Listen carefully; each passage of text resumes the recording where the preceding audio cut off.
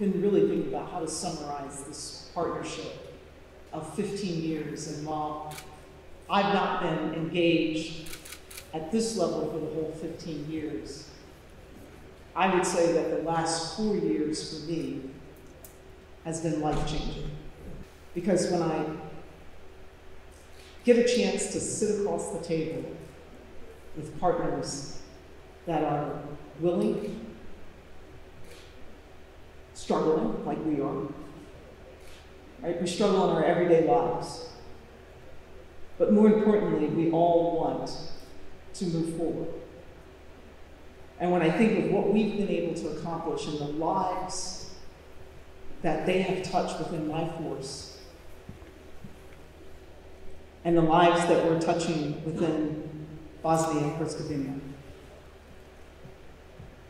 I want you to understand that this partnership goes deeper than just strengthening capacity, which is so important to the survival of our country, your country.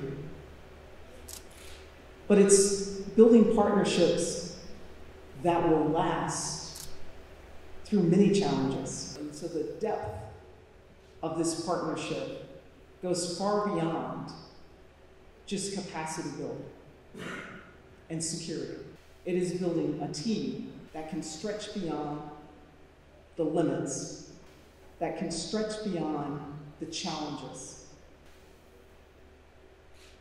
And I will tell you, for me personally, I will never be the same after having been here and having the shared experience.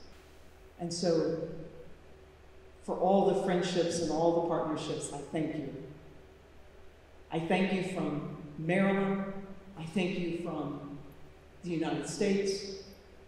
But more importantly, I thank you for my troops because we now have additional friends that we can call upon and that we can stand beside. Well,